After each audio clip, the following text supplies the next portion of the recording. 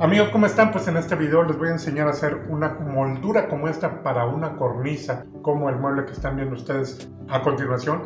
Vamos a ver cómo logramos hacerla de este tamaño, cómo podemos aprovechar el 100% de nuestra madera y lograr que nos quede un trabajo excepcional. ¿Quieres aprender cómo hacer un trabajo como este? Pues quédate hasta el final de este video. Pues bien, lo que vamos a ocupar para hacer esta moldura, por aquí tengo, vean, este disco es un disco pequeñito, esto en centímetros son 10.8 y nos va a servir muy bien para poder hacer la curva para esta moldura. ¿Cómo lo vamos a hacer? Lo, vamos a poner en nuestra sierra de mano, ¿verdad? Le vamos a poner una cubierta para poder pasar ambas molduras que vamos a ocupar para el esquinero. Pero vamos a ver entonces cómo lo tendríamos que hacer para que nos quede como queremos. Empecemos. Pues bien, lo primero que haremos es fijar nuestra sierra de mano a una cubierta improvisada. Vamos a poner nuestro disco pequeño y vamos a traspasar esta cubierta.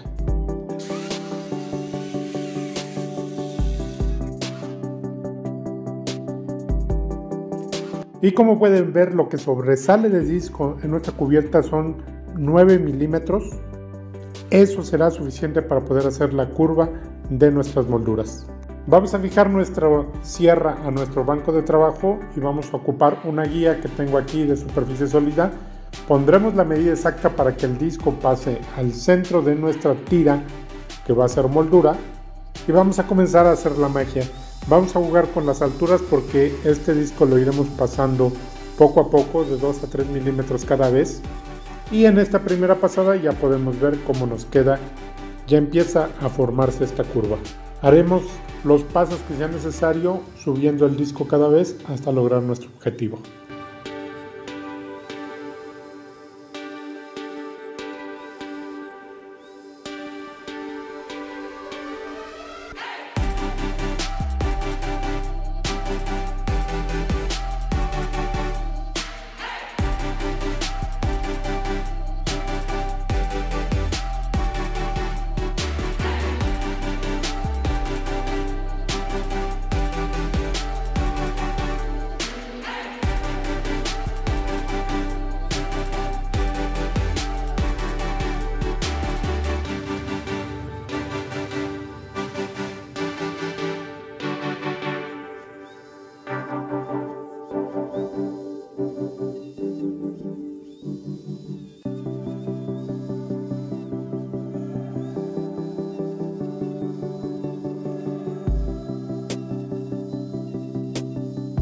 Y bien, chéquense la curva que nos ha dado ya el disco, usado así como ustedes ya lo vieron, aunque eran un centímetro lo que sobresale el disco por la cubierta que armamos, vean qué bonita curva nos, nos da.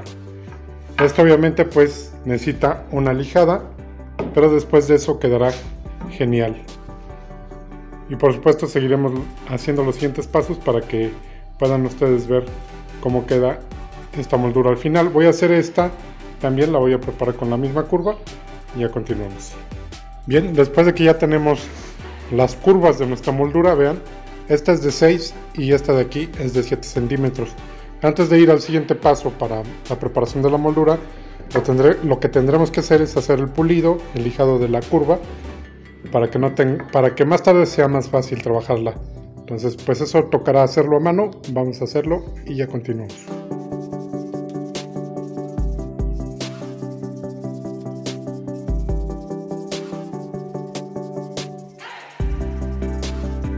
Para obtener mejores resultados durante el pulido, hago un corcho con la misma curva que tengo aquí. Así voy a poder lijar mejor mi moldura y tendré un mejor acabado.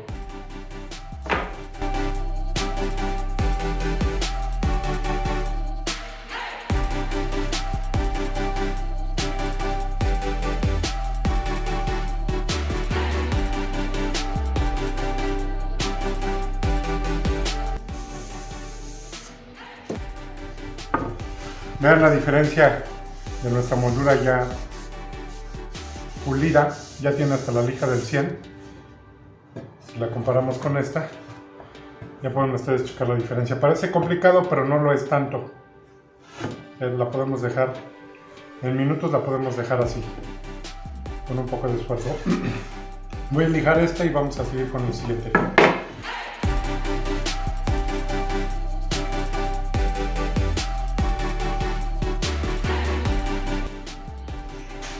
Ok, pues ya tengo aquí, vean, un prelijado de las molduras. Ya podemos avanzar. Más tarde las vamos a detallar con la lija, pero vamos a hacer unos cortes que necesitamos para poder continuar con esta moldura. Vamos a nuestra sierra de mesa para ver qué vamos a hacer. ¿Se acuerdan de nuestra guía que usamos para hacer chaflanes o triángulos o para cortar nuestros cargadores del sistema francés? Que hicimos un video sobre eso. Bueno, pues hice unos ajustes para poder pasarla por la altura. Ahorita vamos a ver de qué se trata. Para poder hacer los cortes que vamos a necesitar para la moldura.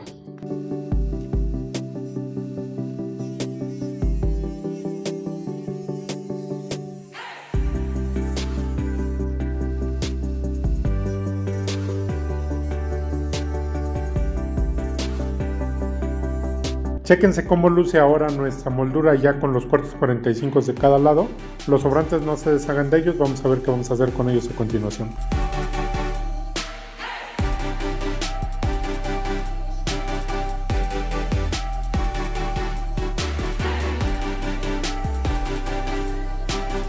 Con los recortes, estos triángulos que nos quedaron, vamos a cortar tiras de 8 milímetros de grueso y también vamos a eliminar una de las esquinas para lograr hacer una moldura con este sobrante.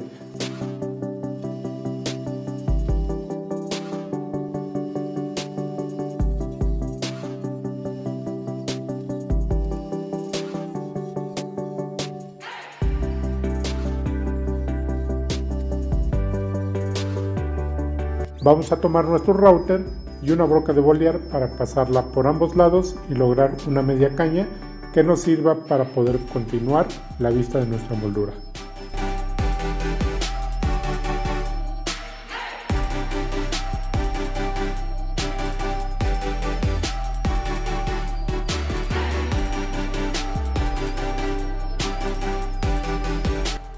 Bien, hasta aquí vamos. Ya vieron el proceso de cómo hacer estos cortes 45 para que nos pueda quedar la vista de este modo ok tanto en nuestra moldura de 7 como en nuestra moldura de 6 y también vieron cómo convertimos los sobrantes en esta moldura redondita los cuatro cortes que sacamos de aquí ok pero además sacamos una tira que también es un sobrante y hemos hecho lo mismo redondeado.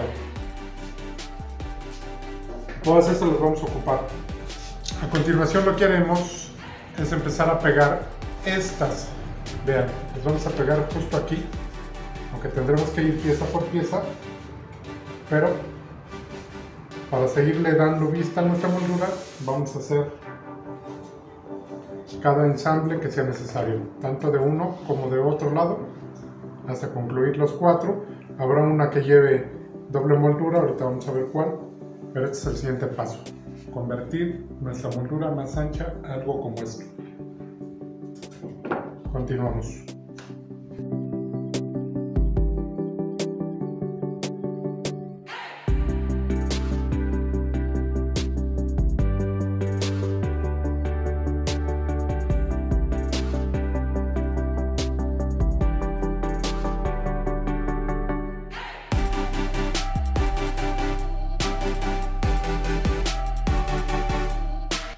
Entonces, para ya no meter ningún clavo, ¿verdad? Porque se echaría a perder nuestra moldura, lo único que vamos a poner son las trenzas así como las tengo y vamos a ir pegando pieza por pieza en cada una de nuestras molduras.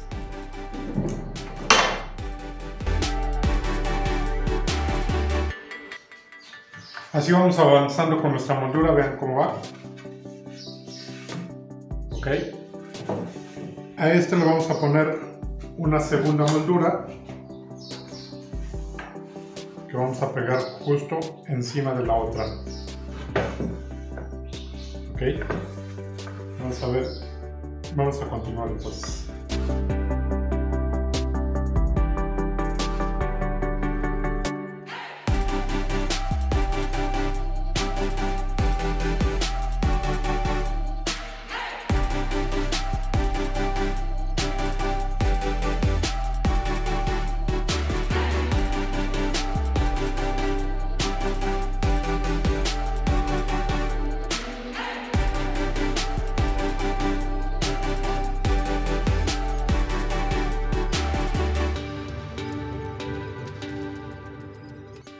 Venga, miren, pues así luce, así digamos que de perfil, la moldura que hemos hecho. Chéquense estos tramos, porque hemos aprovechado todos los recortes que hemos hecho a esta misma moldura.